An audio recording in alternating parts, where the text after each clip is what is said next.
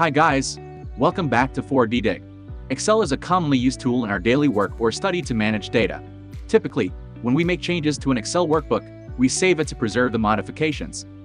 This process replaces the previous version of the workbook with the updated version. Alternatively, there may be instances where you unintentionally overwrite your own file with the same name when receiving a file from another source. Then how to recover overwritten Excel file. Don't worry, here are several fixes for you.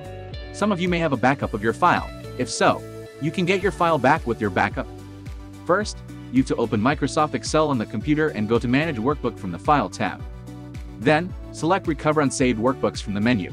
When the unsaved file is selected, tap on the Open button. Then, press the Save As option, and the file will be recovered. If you want to know how to enable Excel Backup, check this Select File from the menu. Click Options Save Save Auto Recover information every minutes. What if you didn't enable Excel Backup? Here is another option for you, Recover Excel Form Temporary Files. First, you have to open this computer. Then, enter the following address in the input field above. At this point, you should be able to see your Excel file. You can either open it directly or copy and paste it where you want it.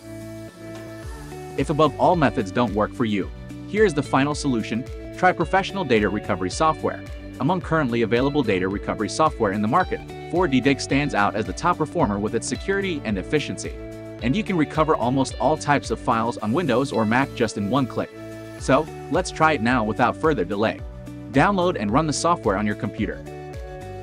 Choose the drive where the Excel file was saved and click the Scan button.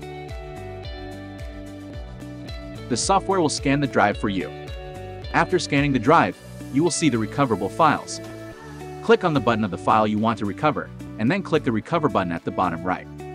A prompt will appear asking you to choose a secure location to save the recovered file on your computer.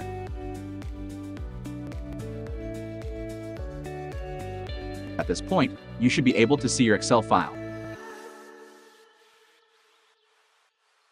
Alright, if you think this video is helpful, please give us two thumbs up and don't forget to subscribe to us.